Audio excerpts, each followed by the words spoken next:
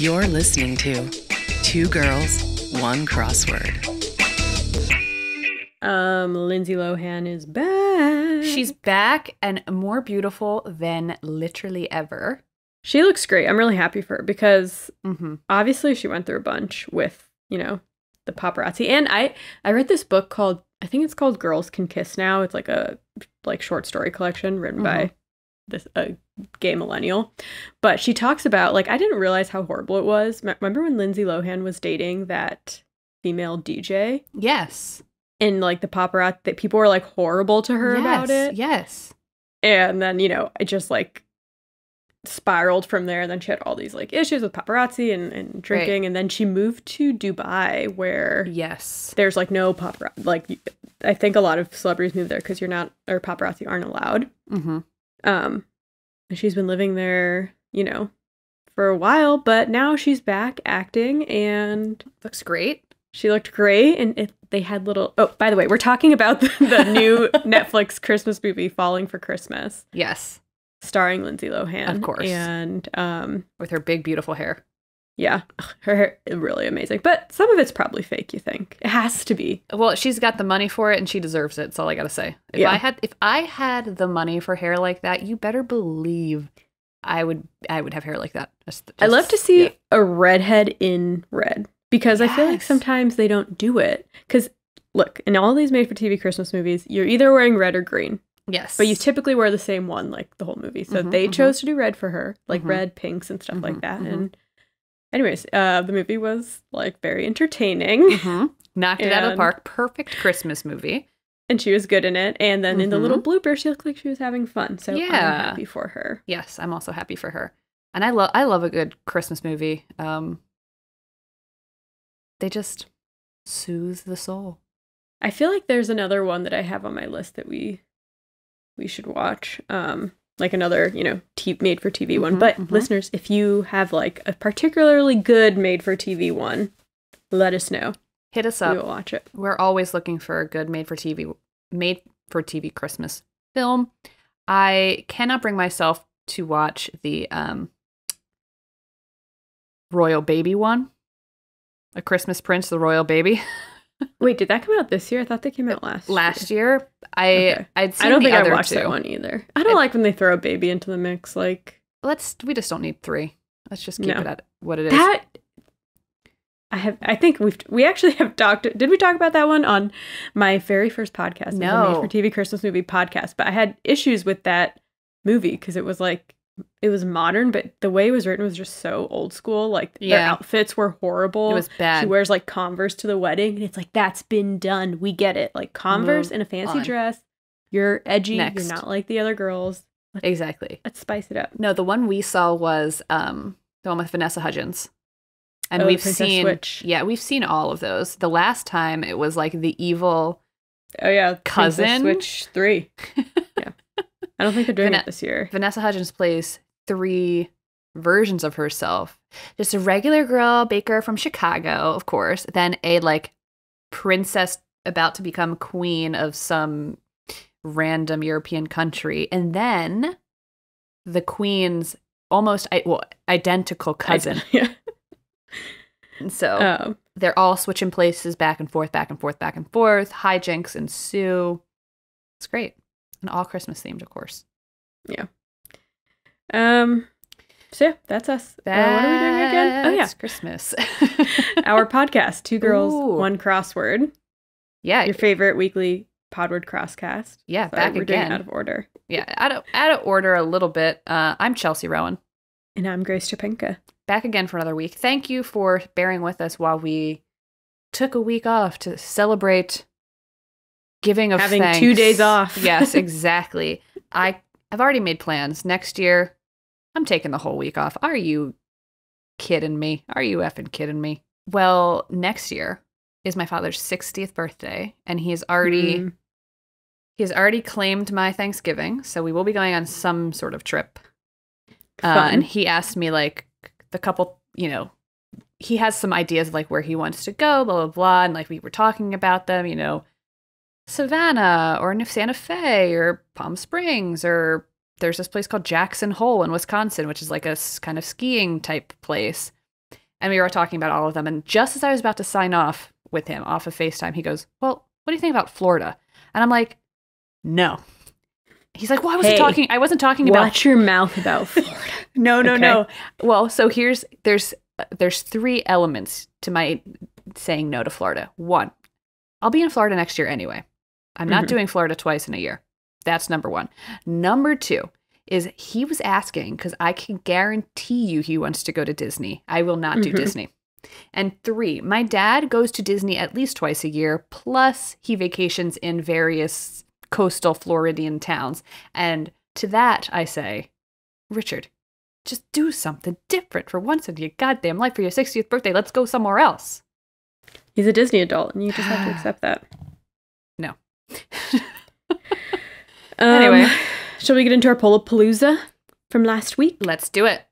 This was based off of Chelsea's Ina Garten topic, but we asked our Twitter followers, "What's your favorite type of cooking show?" Options were Mm. baking, competition, even though baking is competition, but I feel like it's different. It's different. Um, inform- informative, like Ooh. Barefoot Contessa, and then none. and um, 44% top vote or the you know the top choice 44% was for baking. Wow. yeah. Um in second place with 23% of the vote was none. That was me. Oh, um in third God. place with 22% of the vote so trailing very slightly behind was informative shows. And then last place 11% was competition. So Food Network, I'm- take note. yeah i guess people aren't into chopped anymore like they used to be Chopped is insane anymore. I wouldn't consider it a cooking show at all, so much as a I feel like- spectacle. well, because they keep having to up the like all these compet even um Great British Bake Off is which Yes. I watch against my will, by the way. But it's kind of like going through that too, where it's like they're running out of things to make it interesting. So Mhm. then you know, like they had everyone knows they had them made make Mexican food on a baking show, Mhm. and they were making like as they say tacos and guacamole. It was horrible. And Pico de Gallo, yeah, bad news So- bears. It's like I think this is what refried beans look like, and it's literally like beans and water. Yeah, it's it was yeah. I haven't seen that episode, but from what I've I've, just seen seen online, yeah, yeah, Um, yeah, and unfortunately, one of the beauties of Great British Bake Off, and I think that's why a lot of people clicked baking on the poll, is that it lacks that competitive element that a lot of American cooking shows have. It's just like a Mhm. feel good show where you get to see cute people making cute things, like honestly. But it's it's edging on gimmicky now. There was a couple seasons ago um, where they had them make um, naan, which is totally fine, but I've never seen them do anything like this before, and they haven't done anything like this since. Or correct me if I'm wrong. Every single cooking, every single bake was done in the tent except for the naan, where they made them go outside and they each had to start their own fire, keep the fire lit, and then oh bake the God. naan over the fire. And I'm I'd like, be so pissed if I went home on that. I'm like, what does this have to do with me being able to bake? Well, I found that I thought that that was really frustrating because I think that was for the final, and the leader, the person I thought should have won, didn't win because they didn't do too well in the outdoor survival, oh non technical. And I'm like, come on. Anyway, And like, what are the implications of doing like, you know, a foreign dish and then making them have to make it like outside in the I- fire? it's like, yeah, mm, mm-hmm, yeah. hmm There's a lot. There's lots going on there. Uh, I picked informative because I love I love Barefoot Contessa, but I also love Chef's Table. I was gonna tell you, I went to a friend's giving and I made Ina Garten's like garlic roasted potatoes. so I did, and yeah, she makes it look so easy in her little thing. She goes fast. I mean, she's moving fast she's in those whipping. things. Yeah. And but then how they taste? They were good. And then what's his face came in and they were like, Did you see. Jeffrey? Yeah. and all the comments are like, it was so great when her husband came in. I'm like, all right. I'm like, yeah, this is fine. But sometimes, sometimes I just want to. I like the TikTok recipes because it's like I don't need to, it to be interpersonal, but I understand the people like that. She's on TikTok and Instagram now, so Oh well, then Maybe. now the more you know. Um, I have a very very minor corrections corner. tell me. Okay, so as all of our listeners know, and if you don't know, listen to our old episodes, you Rubicon. Um, our uh, we were graciously invited to Learned League, which we talked a little bit about when we Grace did her Men's episode, and I think one of us made a comment that the the person who invited made someone made a I can't remember, but it very well could have been you. It also sounds like something I would have said.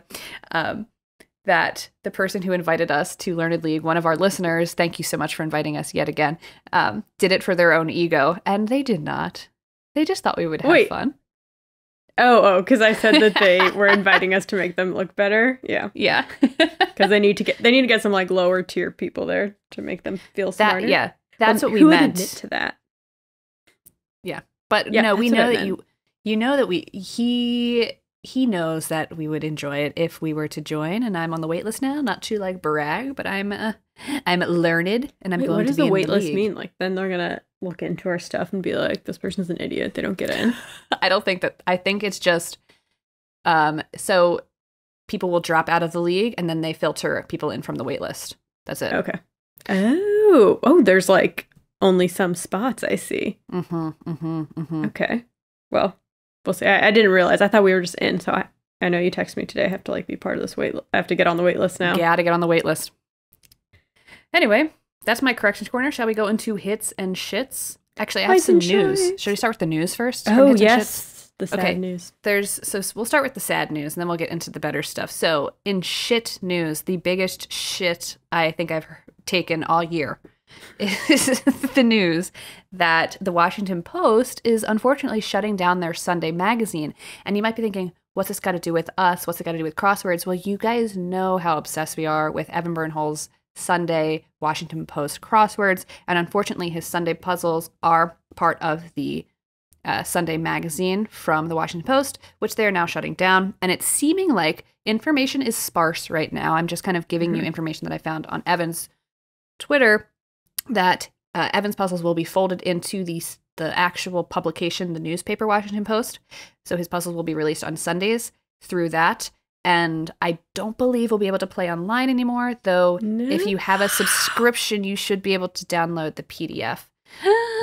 Oh, Evan. Well, maybe I will have to get a subscription. Just for Evan, at the very least. I mean, Yeah. What are, what's a girl to do? Your two biggest fans, your fan club. We don't have anything to do anymore. Maybe Evan just sends us a copy of his puzzles every week under the table. well, if Evan set up a Patreon, uh, just let me know. We'll we'll do a subscription. Yeah, we would be. Yeah, I mean, I feel like his puzzles are great. Every puzzle, like of his, every Sunday, Literally, always really fun to do. I love like the level of difficulty it is because it's like challenging but not impossible. right? It's really big, and he does like really cool themes and stuff. So yeah, Exactly. he had a Patreon.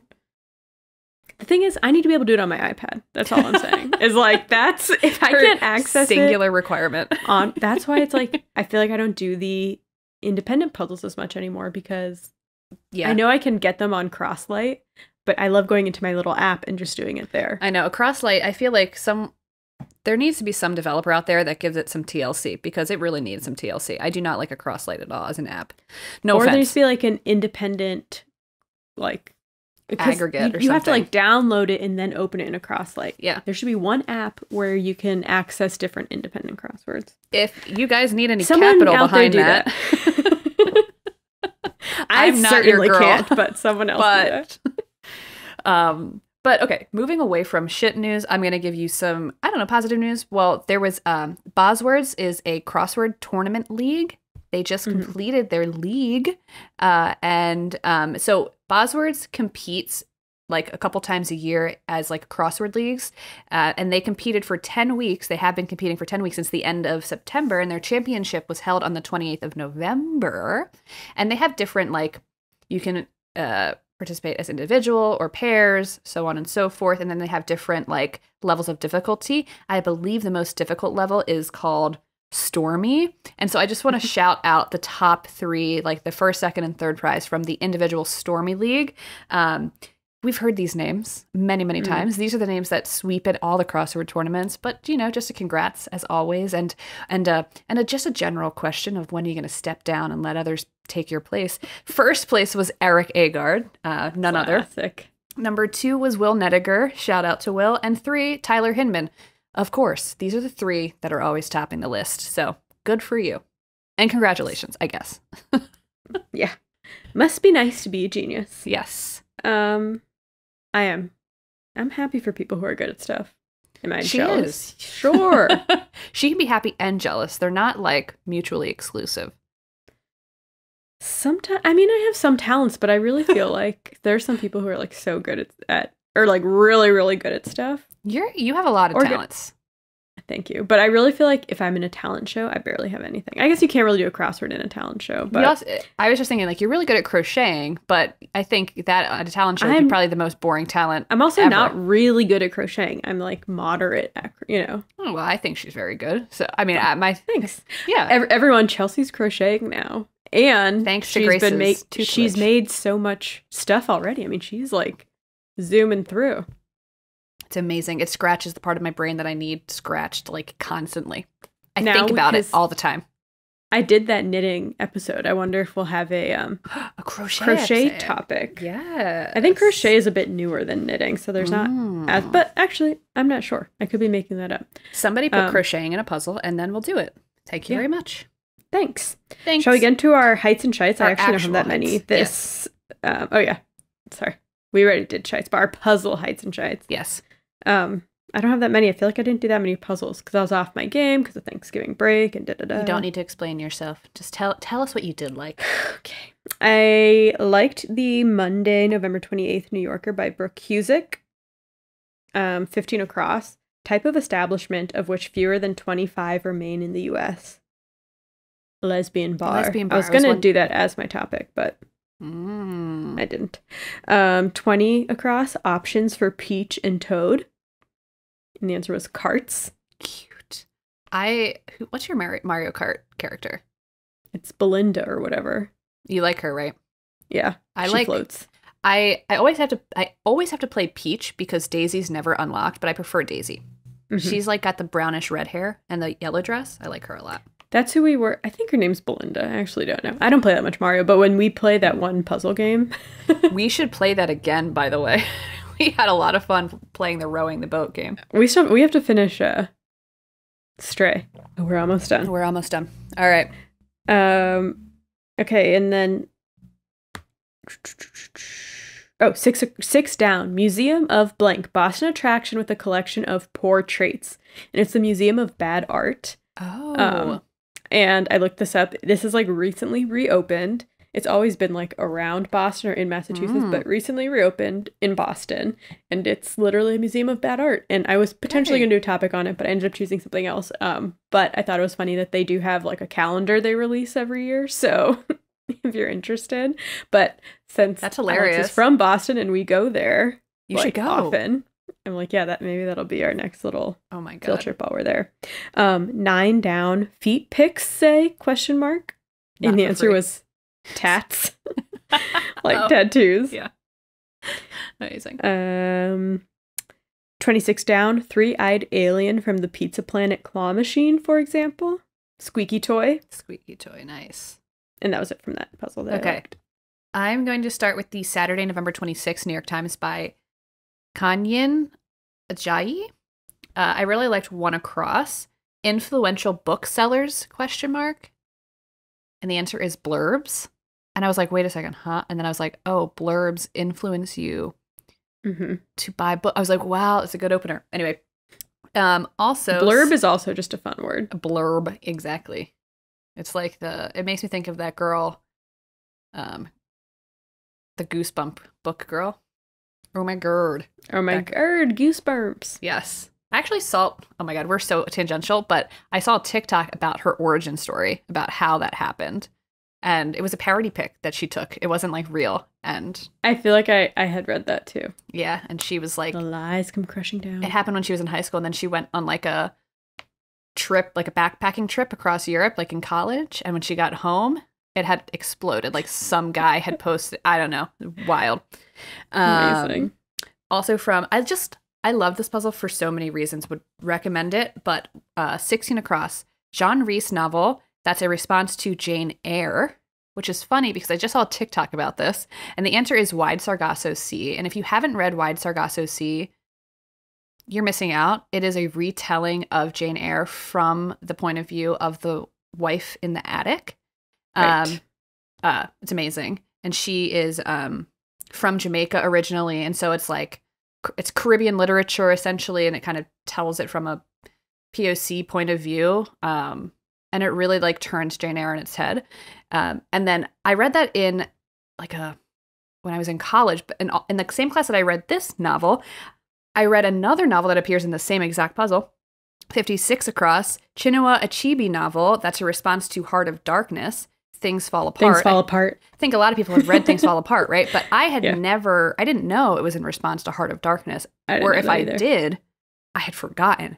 Anyway, so I learned something new, or maybe I was reminded of something I had previously known. Um, I liked that.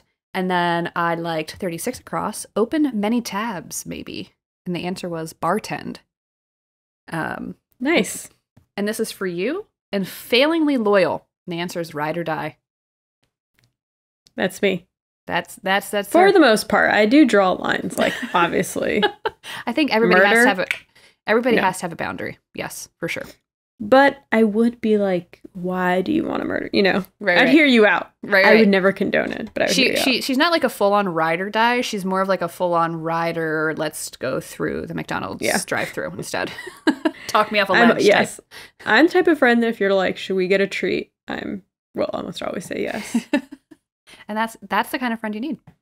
Uh, that's what I have from that puzzle. Did you do the Tuesday, November 29th New Yorker by Wyna Liu? I did. I just did that moments before this call in, when we were eating dinner. Um, I had a few that I liked.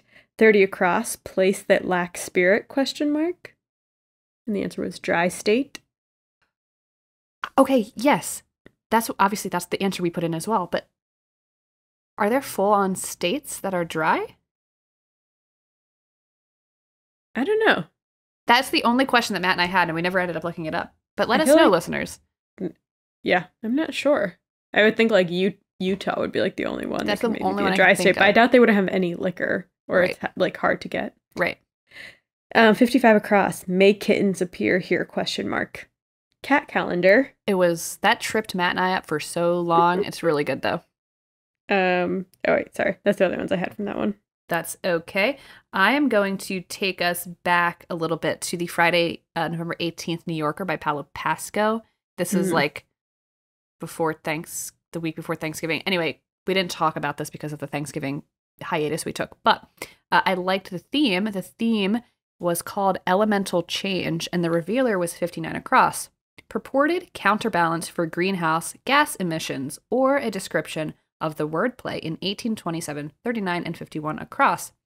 The answer is carbon offset.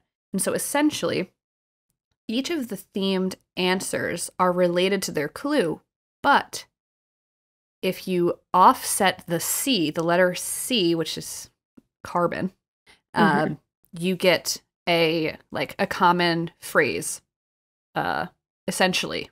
So I'll just give you an example. 18 across, quote, consuming pop rocks and soda together will make your stomach explode, end quote, for example, question mark. And the answer is reaction myth. Mm-hmm. But if you were to take the C in reaction and move it in front of the R at the very beginning, it becomes creation myth. Oh, okay. Okay. Smart. Fun. Classic Paolo. Classic. Uh, and then 39 across, potential Katherine Heigl sequel whose title replaces 27 with 100 or 1027 question mark. Uh, and the answer was octillion dresses. And if you move the C, it becomes cotillion dresses. wow. Amazing, right? Uh, and then 51 across, recording at Sotheby's question mark. And the answer was auction tape, but if you move the C, it becomes caution tape. It was just very fun. And then also from that puzzle, this is for you, 40 down, attraction for blockheads question mark. Lego. Legoland, baby. I would love to go to Legoland. Legoland. I would too.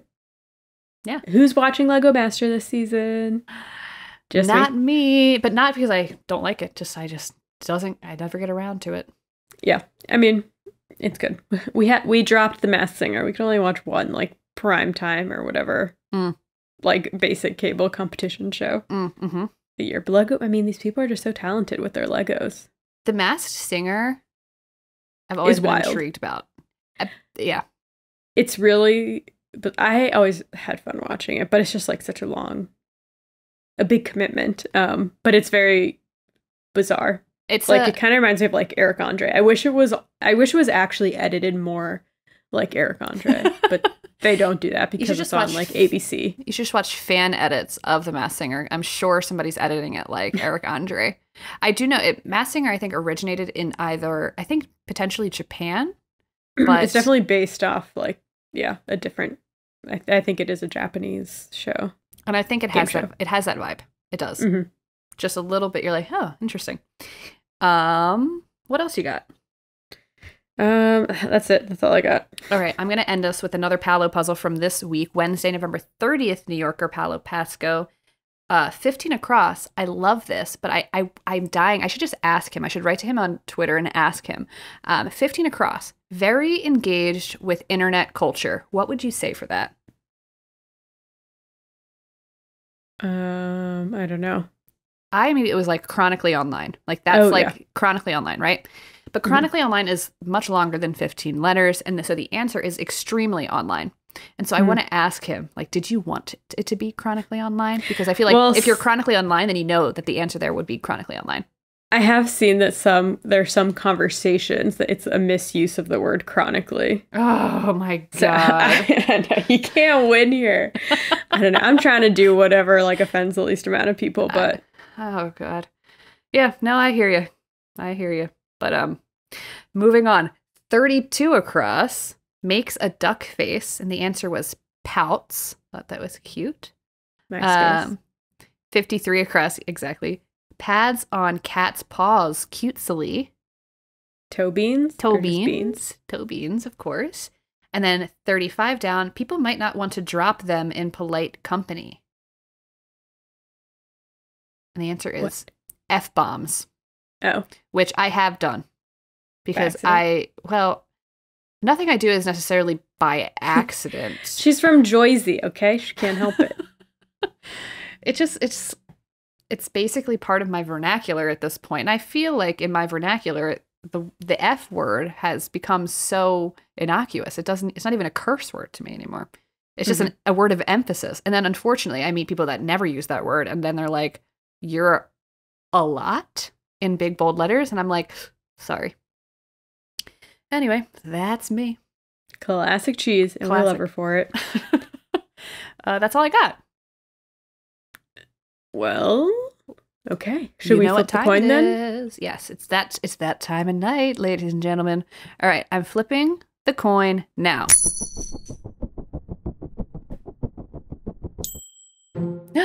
it's heads. Ugh.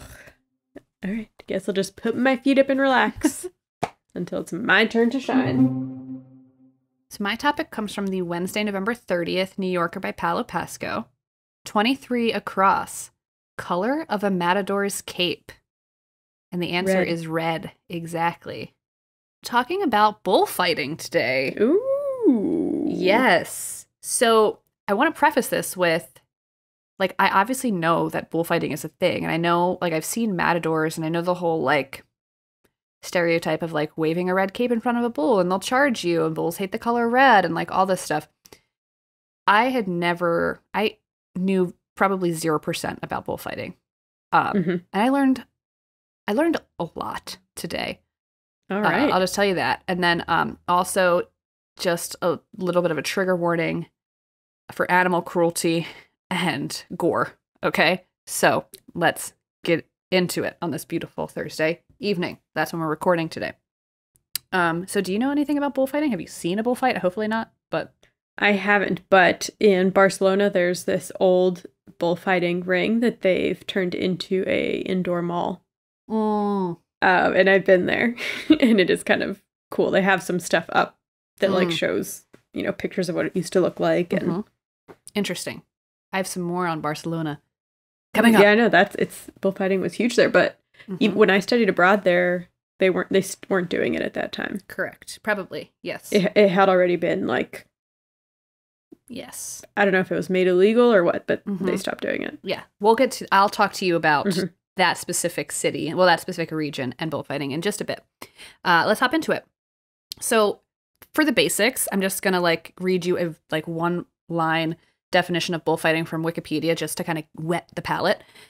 Uh, it is a physical contest that involves a bullfighter attempting to subdue, immobilize, or kill a bull, usually according to a set of rules, guidelines, or cultural expectations. So, yes, part of bullfighting, even today, is often killing the animal. Mhm. Um, and bullfighting varies greatly depending on the region or culture, but the most well known form of bullfighting is Spanish style bullfighting, which is practiced in Spain, Portugal, southern France, Mexico, Colombia, Ecuador, Venezuela, and Peru. The exact origin of bullfighting is lost to history. There are a couple theories, of course, and I'm only going to point out a couple of them. In a little place called, and I don't know how to pronounce this city, this Cretan city, uh, it's either Knossos or Knossos, um, on the island of Crete. Uh, they found these frescoes painted on like cave walls um, from ancient Minoa, which is circa 1500 BCE, and they depicted these frescoes depicted games with bulls in which young people were shown grabbing the animal's horns and vaulting over them. Okay. Uh, and then there's a group of people called the Celta- Celtiberians, uh, and they resided on the Iberian Peninsula in the last ages of BCE, uh, that they were aware of the wild cattle that inhibit- inhabited their forests, and they developed the hunt for these pieces, these cattle, uh, into a game. And they would herd these animals and would use them as auxiliary war machines, uh, where uh, they would essentially take advantage of the ferocity of the, the specific type of cattle found on the Iberian Peninsula. For example, uh, these people uh, were defending a city that was being besieged by Hamilcar Barca, which is Hannibal's father. Uh, you probably Mhm. all know Hannibal from, I don't know, Sparta and whatever.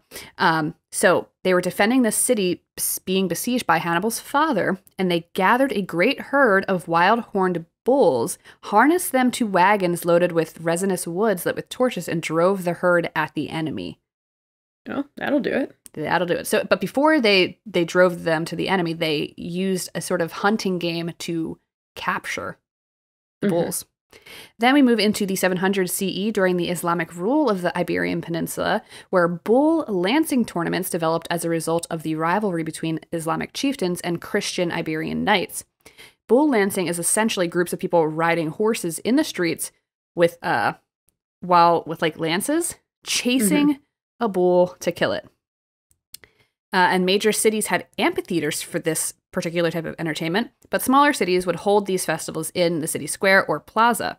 And these organized bullfighting or bull lancing festivals became commonplace by the end of the 11th century and continue to be popular today. And obviously, the most famous of which is the Fiesta de San Fermin, during which the bulls are run through the city streets of uh, Pamplona. That's the running of the bulls, right? Um, and while none of these origin stories are verified as direct ancestors of contemporary bullfighting, it's likely that modern bullfighting came from a combination of influences, rituals, and cultures from this area and all of those time periods mentioned. And in case it wasn't obvious, we're talking about Spanish bullfighting today. Okay, Mhm. there's bullfighting all over the place. There's bullfighting is popular in India, for instance, or bull festivals. We're talking about Spain. So let's get into it. By the 15th century in Spain, bull lancing tournaments was a favorite sport of the aristocracy, uh, and you would probably see some form of bull tournament at every court function, which is kind of interesting to me. Bullfighting became so popular that the matches were eventually held during fiestas in commemoration of holy days and the canonization of saints. And even today, the opening day of the bullfighting season in some areas is Easter Sunday. Okay. Bullfighting is deeply cultural and deeply religious. And while we'll Mhm. talk about the controversies of bullfighting, part of the reason why it's so hard to eradicate is because of the deep cultural and religious ties. hmm So just keep that in mind in terms of like maintaining some form of sensitivities. Uh, you don't have to like bullfighting though. Uh, so not only was it enjoyed by the aristocracy, but it was also performed by the aristocracy.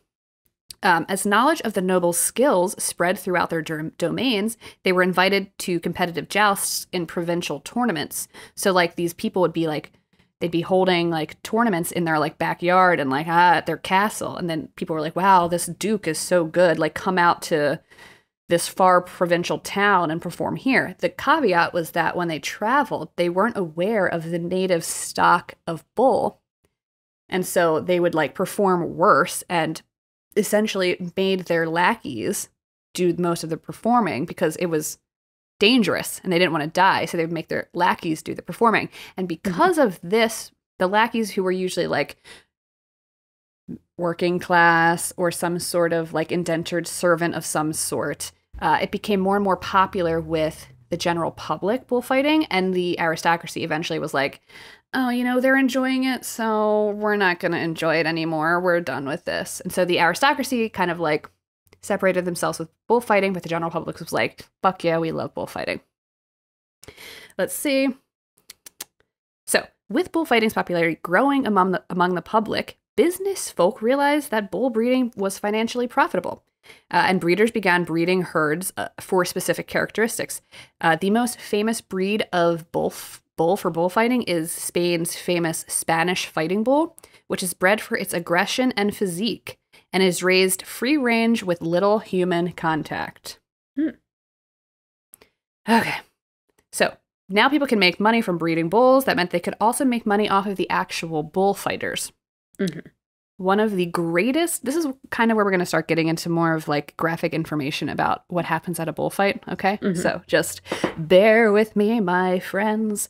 Um, so one of the greatest early professional bullfighters was joaquin rodriguez Costillares born in seville in 1729 Known as the father of modern foot based bullfighting, he is credited with creating the pomp and pageantry associated with modern commercialized bullfighting including some of these things that he introduced include the basic cape pass. So it's when they like wave the cape, it's called a pass. Like when the bull runs past, it's called a pass. Mm-hmm. So the very basic cape pass called the Veronica, in which a in which uh, the cape is swung slowly away from the charging bull while the matador keeps his feet in the same position. So he introduced that. Mm-hmm. Then the he introduced the matador's tradition of wearing an elaborately embroidered costume. The costumes that matadors wear are insanely gorgeous. And mm-hmm. there's like superstition and like tradition that goes into like the donning of the costume and like certain types of things that you put on and when you wear it and when you don't wear it, who watches you put it on, all of this. Uh, mm-hmm. He also introduced the most common method of killing the bull, which is called the volapié, in which the bull is transfixed by the cape held low to the ground while the bullfighter lunges forward as the bull charges and with the right hand plunges the sword between the bull's shoulder blades. Thank you. And that for- would kill a bull. We'll get to how and why okay. that would kill the bull. Uh, another famous bullfighter from the time, and apparently this other guy's rival, uh, was a man named Pedro uh, Pedro Romero, who apparently killed 5,600 bulls during a 28 year career. Damn. Uh, yeah, and he popularized the use of the estoque, or estoque, which is a sword that is still used in bullfighting today. Um, and he also popularized the muleta, which is the name of the red cape. Mm-hmm. Uh, da, da, da, uh, Romero was famous for ex- executing a more dangerous, dramatic, and difficult method of killing. So there's two methods of killing the bull. There's the one we just talked about, the volapié, where he goes between the blades of the, the the shoulder blades, and this one is the more dangerous version. It is called the recibiendo, in which the matador stands still and receives a charging bull on the sword, like this. Oh my gosh. Yeah.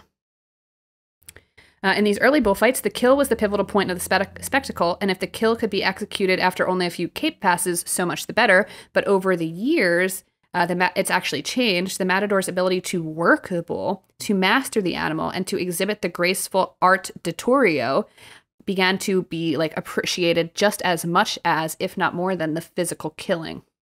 Mm-hmm. And yeah, bullfighting exploded with the like onset of like railways.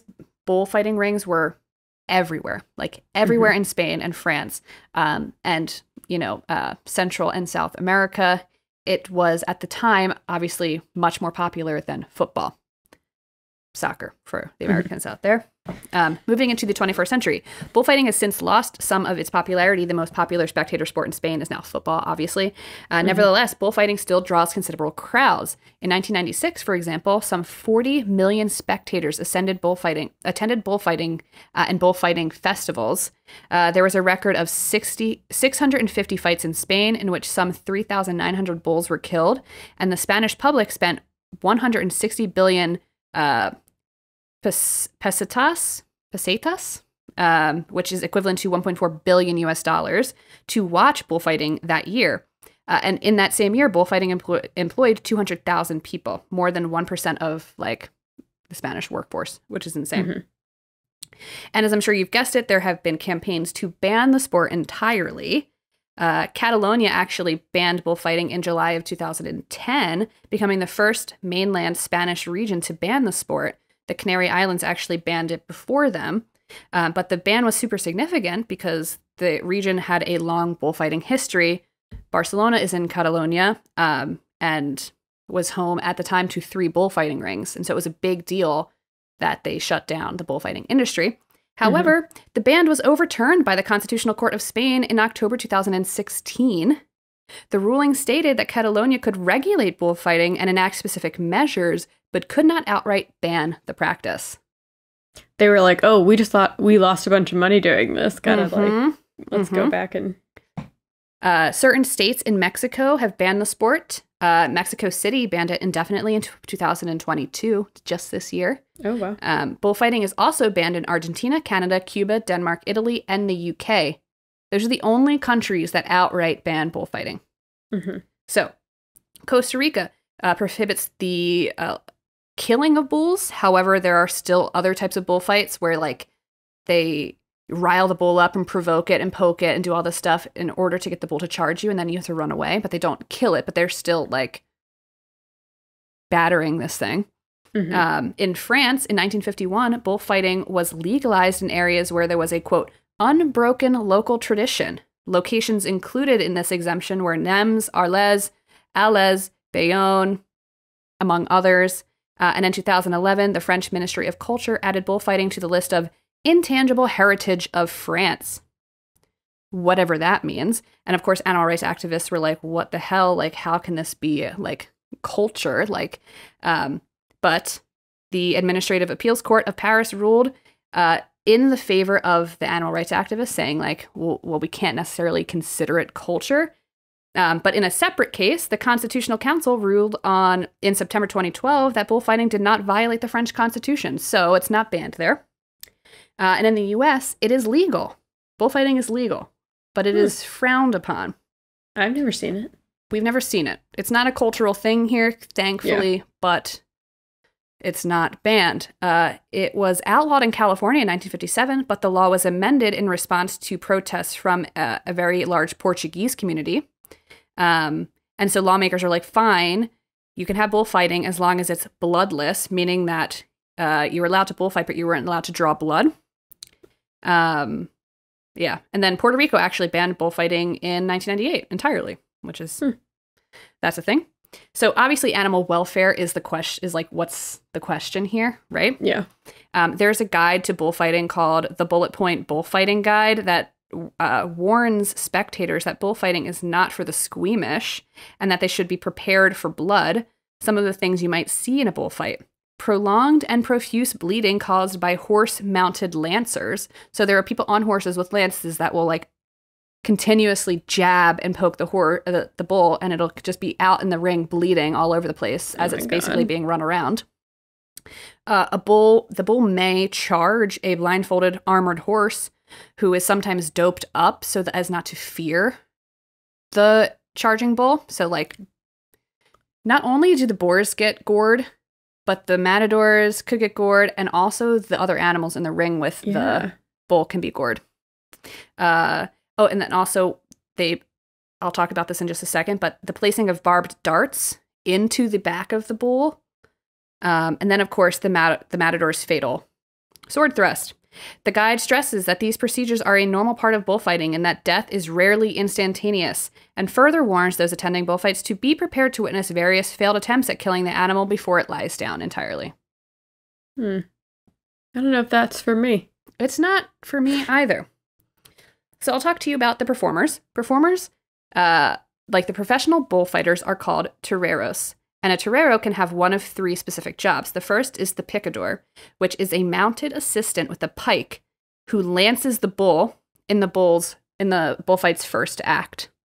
Mhm. Then you have the bandoleros, the which are the assistants who are on foot and they like execute the initial cape work to get the bull like riled up. And it's their job to place barbed darts into the bull's back in the second act. And then there's the matador who will work the bull and eventually kill it in the bullfight's final act. Uh, and matadors actually wear special costumes. We kind of talked about this, and the costume is called traje de luces or luces. It's a, which means suit of lights, and it's consisting of a short jacket, a waistcoat, knee-length skin-tight trousers of silk and satin, richly beaded and embroidered in gold, silver, or colored silk. And the dressing of a matador is a solemn ritual, one uh, like filled with tradition and superstition. It is considered an honor to be invited to the dressing of the matador, which usually occurs an hour or so before the late afternoon fights, because all bullfights happen late afternoon. Mhm. So yeah, um, I'm gonna go quickly through each of the acts, and then I'm gonna end because Okay. Well, do you in your are you going to talk about like do matadors ever get killed? They do. Yeah. I'm not going to talk about that explicitly, but yes. So, a matador, the way bullfights work, there are, I think, six fights per event. Mhm. And each fight has three acts, and there's three matadors per event. So, the lead matador will fight the first and fourth bull, and then the second matador will fight the second and fifth bull, and so on and so forth. Okay. And if a matador is gored, he basically is tapped out and the next matador goes in. Oh. Damn. Yeah. And a lot of the reason why so the in the first and second act, the matador is in the ring with his assistants, whether it's the picador or the the bandoleros, Mhm. um, in order to like have multiple people in the ring with him to essentially violently like attack the bull to a point where when he is in the third final act, he's so weak that the matador can be in the ring with him by himself and be Yeah. safer. It is still incredibly dangerous to be in the ring, even with a wounded bull in Mhm. the third act. But yes, matadors do die. No. Um, but matadors make a lot of money, like Mhm. a lot, a lot of money, which is one of the reasons why people still do it. Mm-hmm. So, uh, okay, let's start with the performance. There are three acts of a bullfight, like I've already said. Act one. So there's a ton of opening fanfare that happens with like people Yeah. tra- traipsing out, music being played. There's like the host of the the the bullfight, which is usually some local dignitary or the president or something. Mhm. Um, and they sit in the big box, and the matador comes out and dedicates the fight to a certain person or dedicates the bull to a certain person, whatever. Uh, after all of this is done, the bull is finally released into the ring.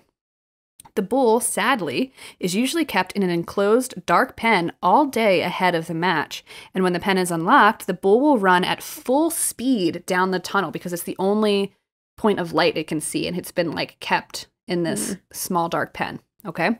So he races out. Uh, and then a bull, so this is like a side note, like usually a bull will run out and be like ready to go. However, Mhm. there are certain bulls that might get switched out. If a bull runs to the entrance and suddenly stops upon entering the ring or attempts to escape back through the still open gate, it might mean that the uh, bull is, quote, tame or cowardly, whatever that means.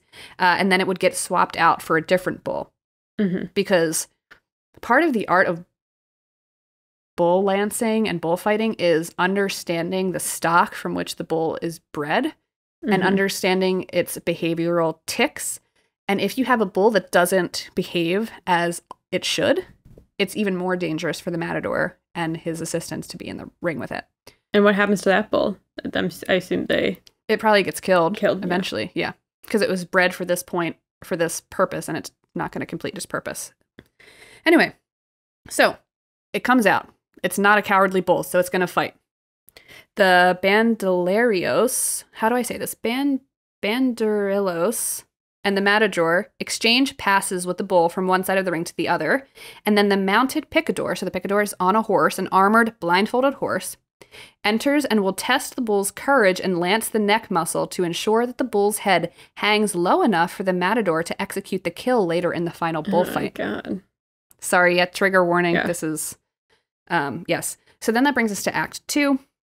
Both the picador and the matador will leave the arena, leaving just the bull and the bandoleros, which are there's multiples, so they're not just there by themselves.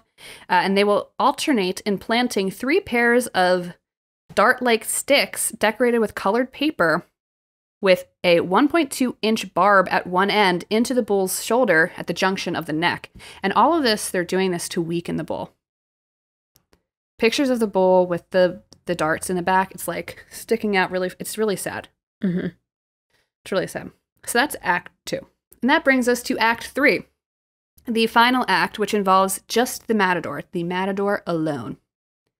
This act is essentially where the matador performs a series of cl- close passes with the bull. The bull is now in a weakened state, and so his charges are weaker, which is why the matador can be there alone. But the excitement from the crowd is at its peak and only grows with every pass of the bull. Some matadors, before killing the bull, bull, may demonstrate their complete mastery of the animal by executing an adorno, which is essentially an, uh, an ornamentation or like a flourish that can range from turning one's back to the bull, kneeling confidently in front of the bull, kissing the bull's head, or even hanging a hat on the bull's horn. Hmm. the killing of the bull is done either volapié, which we talked about, which is kind of like the bull comes and he goes into the side, or uh, recibiendo, which is straightforward. Uh, the actual moment of the kill is called hora de verdad, the moment of truth, where the bullfight will, where the bullfighter will thrust forward uh, and sink the sword uh, into the small opening of the bull's shoulder blades at the junction of the neck. And a matador actually only has 10 minutes in the final act to complete the kill. hmm Okay.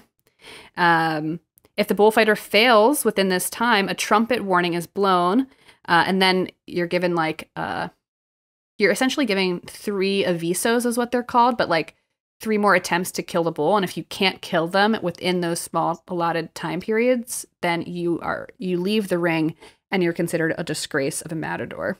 hmm Um, and then after the bull is killed, the carcass is dragged from the arena, quartered, dressed. Sometimes the bull meat is given to the poor, but usually it's sold right at the plaza where the bull ring is.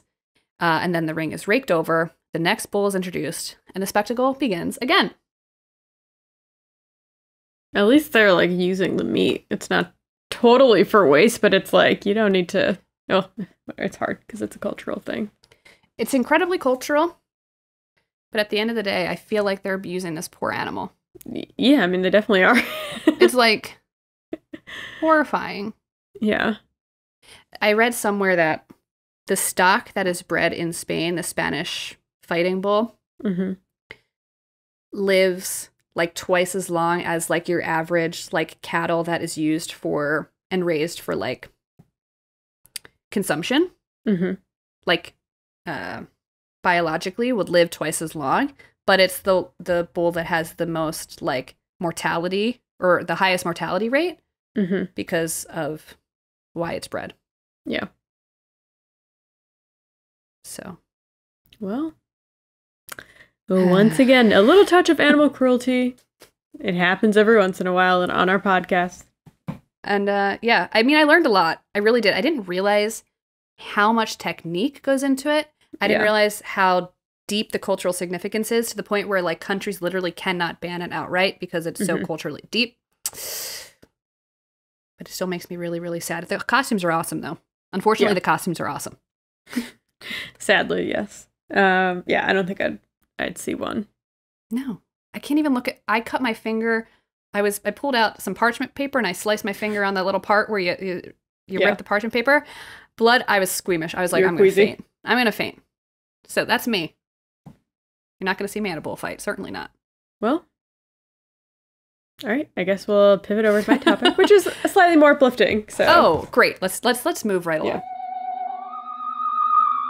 my topic comes from the Thursday, December first New Yorker by Patrick Berry. 17 across. Parties with dancing and disguises. Costume party? Masquerade ball. oh. I've always wanted to go to a masquerade ball. Do-do-do-do-do-do. Have you been to a masquerade? I have not, sadly. Let's But- let's host one. Yeah.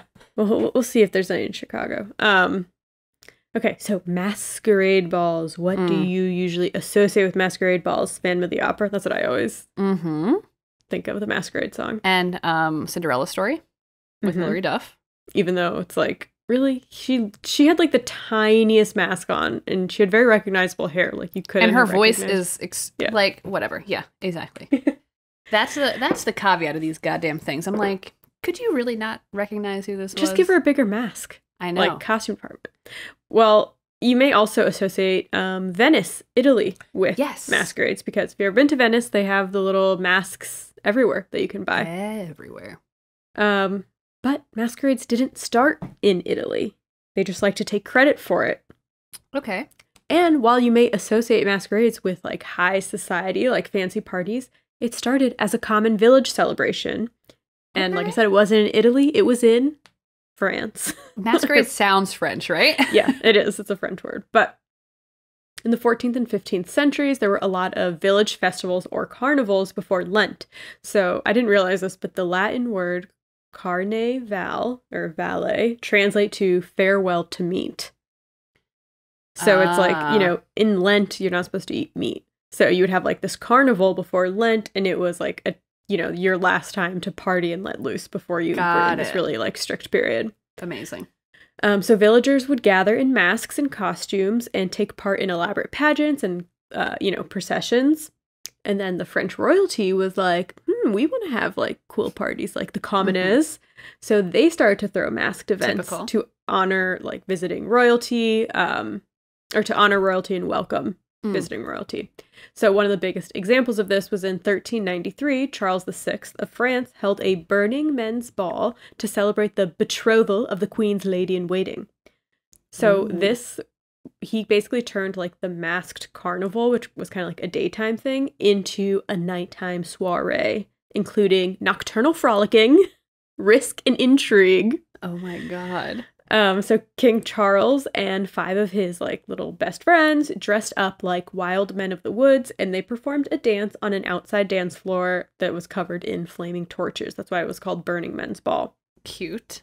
Any wrong move, and like a dancer could go up in flames. But keep in mind, they were all in masks and wearing like the same costume, so there was no way to tell which one was the king Oh. and which one was just like a regular person. So the queen is watching this happen and is like, "Oh God, he better not," you know, he better keep burn. his shit together. Yeah. Um, so that was in like the late 1300s, and then Italy didn't come into the pictures until the 1500s Mm. when masked balls saw a rebirth in Venice during the Renaissance period. Mm. Um, so it was basically a way for Venetian aristocrats to enjoy secret desires while Mm. remaining anonymous. These parties Mm. were filled with decadence, gluttony, and you know, of course, sex. fornication. Um, Yeah, that's what that's like what most people associate with uh, Mhm. you know, like the Venetian masks. It was from this Mhm. time period, and it was like more of a high society type thing. But yeah, it was basically a way for them to Ah. like party hard without ruining their reputation because everyone wore masks. Of course, of course. And then in 1797, the Venetian Republic fell, and the masquerades fell with it, Oh. lost forever. Or were they? So, John James. you are on your bullshit today. John James Heidegger, a Swiss count, took a bunch of Venetian costumes with him to London. And then he started having like opera performances with these costumes. Supposedly, King George II was in attendance, and then he branched out into hosting public parties in gardens around London, which included playing games with the masks, mostly involving guessing someone's identity. ah. Then these types of parties became popular, but they had like a really bad reputation because it was basically, once again, a night for drinking and having sex. And, you know, then that was the time when colonial America was like spreading around, Mhm. and some people wanted to have these masquerades in America, but then there were um, people who opposed them. So the original anti maskers, if you will. um, there were anti masquerade writers, and they claimed that the events encouraged immorality and foreign influence. and Yes. Um, but of course, the British had to class things up a bit. So there were these, like, you know, sex parties basically in public parks. Mm. But then some the finest halls in England started throwing masquerade parties, like more dignified versions instead of, you know, Of all night dancing. They started to see waltzes and courteous exchanges. But these were still more fun than like your average ball because there was the element of anonymity and there was often like some type of game where you, you know, guess people's identities Mm. essentially. Mm-hmm, mm-hmm. Um, but it wasn't all fun and games because Oh. over in Sweden in 1771, King Gustav III, he was not a fan of his own parliament and he despised the reforms, so he seized power from his parliament. Um, and now he had like a bunch of enemies, but he still threw masquerade parties, which is risky because you don't know, you know, everyone who's at the party because they're wearing Mhm. masks. And at this one party that he threw, um, one of the masked party goers was well, there was like a group of them who basically ambushed him, and someone shot him at the party in a mask. And he didn't die at the party, but he died uh, like a few days or weeks later from an infection of the bullet wound. oh my god. So then from this because of this masquerade balls were associated with like the ultimate night of risk and that kind of like vibe was depicted in numerous operas and plays at the time. Um, there is an opera called Gustav III, Oh um, but there's also Giuseppe Verdi's opera A Masked Ball, which it said like due to censorship he had to pretend it was a fictitious story and it's set in Boston instead of Sweden. But okay. um, but yeah, so kind of like Wow. had different reputations over time. wow. Let's talk about some mask types. So Okay. there's the bauta, that's the traditional Venetian mask. It's typically white and gold and it only covers the upper half of the face Hmm. so that you can still, you know, drink and eat and kiss freely. Of and course. both men and women would wear that. Smooches. Then there's the Colombina. These ones are more ornate and they have jewels and feathers. There's the Volto. That's a full face mask and it's often Ooh. paired with a three cornered hat. So that's the one, like, if you really don't want people to know who you are. Got it. You better not have like a distinguishable gait, Yeah. you know, or like like a limp or something. I feel like I wouldn't have a problem. At, like, if it was a masquerade full of people that I knew, I'd be like, I, I can't recognize your face Yeah. anyway. Like, this is fine for me. Exactly. Um, the Arlecchino, also known as the Harlequin, which we mentioned in, I mentioned in the mime episode, I think. Mm-hmm. Um, it's a multicolored masquerade ball mask, and if you're wearing this, you're typically wearing like a multicolored patchwork clothing, so it's Mhm. kind of clown vibes. clown vibes, That's clown probably core. what I, yeah, what I would go for. Um, then some people would wear plague doctor masks, which are those long beaked masks. Ooh. There's Pulcinella, which is a dark colored mask that has a really long nose that kind of looks like a beak um, and slanted eyes. It's like a dark brown mask. I think I know if what you you're talking about. saw it, you'd recognize it, and it's like very plain, and it's traditionally worn with loose-fitting black overalls. And then there's Very the specific. Pierrot. Yes, there's the Pierrot mask, which I also talked about in the mime episode. Right. That is a full coverage white mask and has like you know that uh classic like m- pantomime face on it. Mm, Um, but what about modern masquerade balls? yeah. So these days, most modern masquerades are held in Venice, New Orleans for Mardi Gras, and Brazil. Like Carnival has a lot of Mm, masks. mhm. Um, oftentimes, like the mask and- or the dress code requires you to wear a mask that covers at least the upper portion of your face, and there's typically a theme to hide your identity, um, mix and mingle anonymously, and then like at midnight, everyone takes their masks off and you know reveal the identity. oh my god. So I literally, of we would go and I'd be like, I'm not leaving your side. yeah. it's like who knows who you'd be talking to. Um, one of the most famous modern masquerade parties was thrown by Truman Capote in New York in 1966. Oh. It was called the Black and White Ball, and it was thrown in the Plaza Hotel in New York to honor Washington Post publisher Katharine Graham because throwing it for himself would have been seen as vulgar. Mm. So, Katharine Graham, she was the first 20th century female publisher of a major American newspaper, and she was the one who presided over the Washington Post as it was reporting on Watergate scandal, so she was very Ah. well known. Yep. But about the ball, she said, quote, Truman called me up that summer and said, I think you need cheering up, and I'm going to give you a ball. I was sort of baffled. I felt a little bit like Truman was going to give the ball anyway, and that I was part of the props. so he basically just like chose someone to throw this ball for. He like needed a reason for it. Hey, I don't blame him. exactly. Um, he decorated the ballroom with red tablecloths, and instead of flowers, the tables were covered with gold candelabras and white tapered candles. The menu to be served at midnight consisted of this is weird scrambled eggs, sausages, biscuits, pastries, spaghetti, and meatballs, and chicken hash. So So I'm thinking like that is like really good drunk people food though. true, yeah. Although I, I can't just have eggs like that in the middle of the night. It's like you know Um, when you go you're out drinking or like you finish like your play and then you go to the the 24 hour diner Yeah. and you, you have breakfast. Like that's what that reminds me of. I think that the plaza was known for like the chicken hash or, and spaghetti meatballs. I don't know. There's some reason why he chose those. Okay. And then to drink, there were 450 bottles of champagne. So specifically Taittinger champagne. I don't know Okay. what that means, but yeah. So just champagne and breakfast food. She did a topic on champagne, by the way. I did. folks. Um, Capote purchased a black and white composition book and spent most of July sitting by a pool and compiling his guest list. He carried the book around with him everywhere for three months and he was constantly adding and deleting names. So, some of the people who actually got invited were Katharine Graham, of course, Mm. Lady Bird Johnson, Andy course. Warhol, the Duke and Duchess of Windsor, Gloria Vanderbilt, Harry Belafonte, Frank Sinatra, Mia Farrow, and the Italian princess Luciana Pignatelli. OMG. What to be a fly on the wall of a party like I that. know. Um, the black and white ball was credited for an immediate upsurge in masquerade and costume parties. So people think that it could have been like, you know, also influenced just costume parties in general. Hmm. Um, it had been described as a pinnacle of New York's social history. Wow. Six days after the ball, on the December 4th episode of the television panel show What's My Line, panelist Arlene Francis wore the mask that she had worn at the party, transformed into a blindfold because in that show there's like a segment where people were blindfolded. Mm. So she had just been to this party. She's like, I'll bring my own blindfold. And it was a mask she had worn at the party. Oh. Oh, honestly, to be a fly on the wall. Yeah. So there were there have been a couple re- recreations of this black and white ball. In 2009, Christie's Auction House, um, this is for charity, they recreated the ball at Rockefeller Center.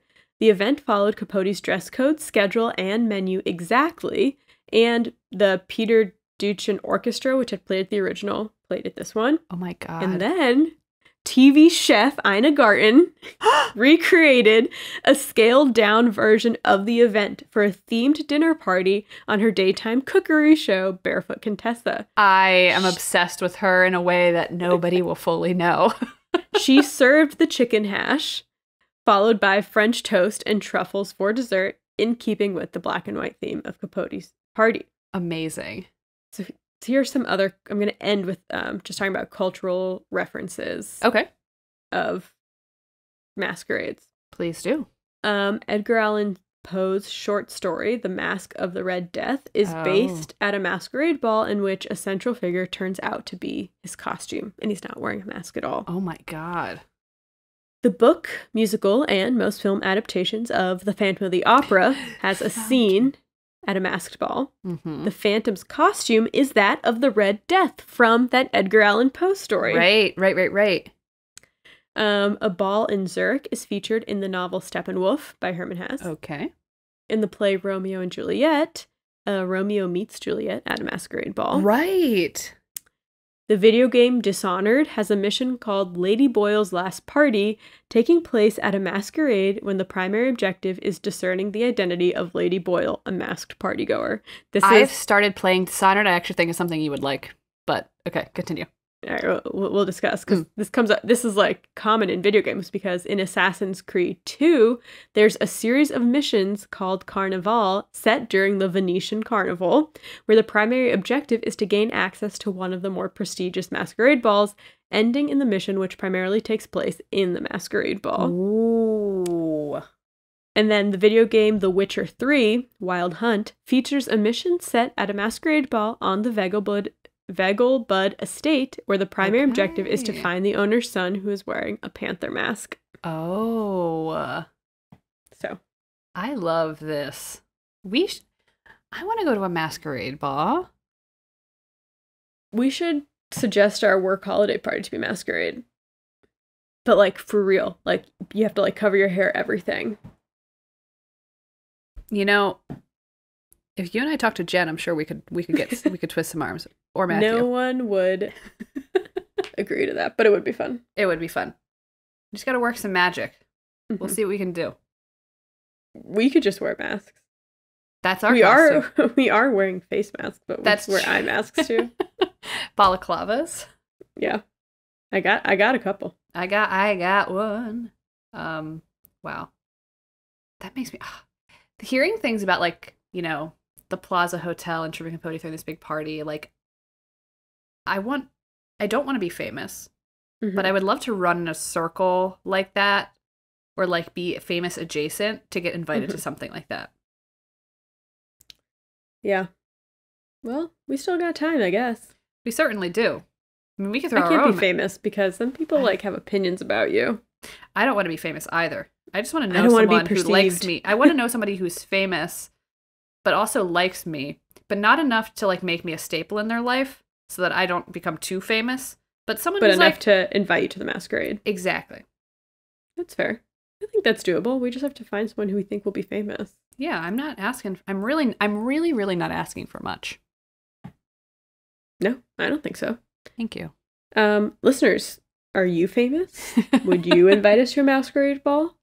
Um, if so, please let us know. You can find us on Twitter at the Good Eve Girls or, Instagram at the Good Evening Girls. or TikTok at the Good Eve Girls. Come on down, stick around. Um, always excited to hear from you. Uh, but until next time, please remember to keep curious out there, and we'll be back same time next week. Maybe place, I think. we have to. Don't hold us to it. Do Look, not hold we don't know it. what's going on until like the new year because there's a lot of traveling involved There's a lots of stuff going on at the end of the year. So um, we'll we'll keep you we'll keep you abreast of the situation. You will hear from us again. That much I will. can- well, I can't 100 percent promise you because it could be a nuclear war, but like 99 percent sure you'll hear from us Ninety nine again. percent. Sh- yeah, exactly. Um, well, until then, until that time, that inevitability comes. We'll see you. We'll see you next time. Bye-bye. Goodbye.